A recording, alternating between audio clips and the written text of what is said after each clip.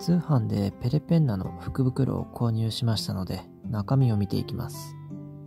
筆記具セットの5000円コースと1万円コースを購入しました。今年に間に合えば買ってみたり、来年買おうか検討する材料になればなと思います。まず5000円の福袋から開けていきます。1本目はラミーの製品ですね。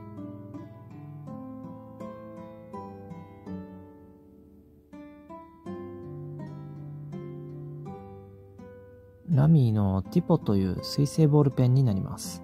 税込み1870円。クリップは使いやすそう。ノックはちょっとしにくいですね。2本目はこちら。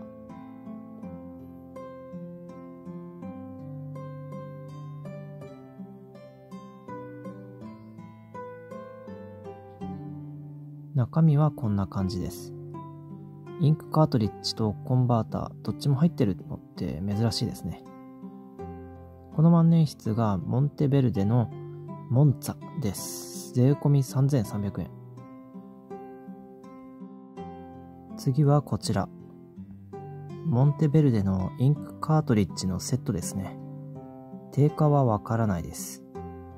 Amazon では5000円の出品がありましたけど、そんなはずはないと思います。次は筆記具3本目。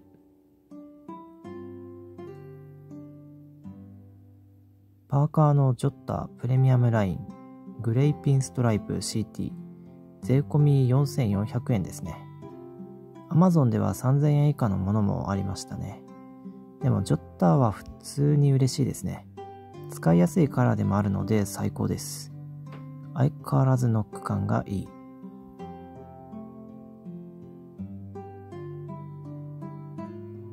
4本目はオロビアンコ。ルチアーナというシャーペンです。税込み7700円。ノック音はそこそこ好きですね。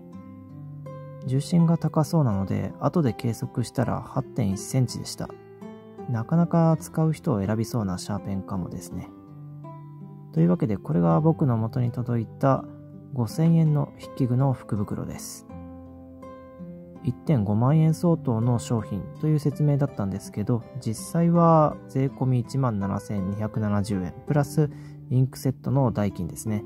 なかなかお得な買い物だと思います。癖のあるペンも高確率で入っていそうですけどね。次はこちら。1万円の筆記具の福袋です。では早速見ていきましょう。ファーバーカステルのネオスリムマットブラック。万年筆ですね。税込6600円です。結構かっこいいですね。クリップも使いやすそうです。キャップはちょっと硬い。ニブも黒いですね。素晴らしい。これはデザインだけ見ると当たりな気がします。2本目はラミーですね。サファリ、ネオンイエローですね。万年筆で税込み4400円です。それにしてもまあ、すごい色ですね。暗闇で軸が光るかなって期待しましたけど、さすがに光らなかったですね。こういう奇抜な色とか、自分の好みに合わない色とか、そういうのも福袋の楽しみの一つではありますね。次3本目。モンテベルデです。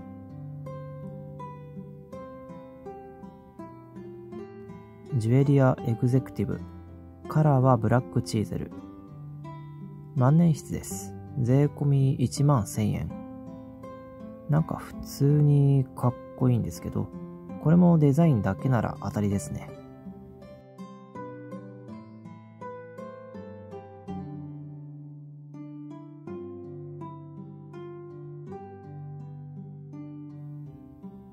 約3回転で外せました。うーん、だるいですね。後ろにつけるのも一苦労。かっこいいんですけどね。4本目はオロビアンコですね。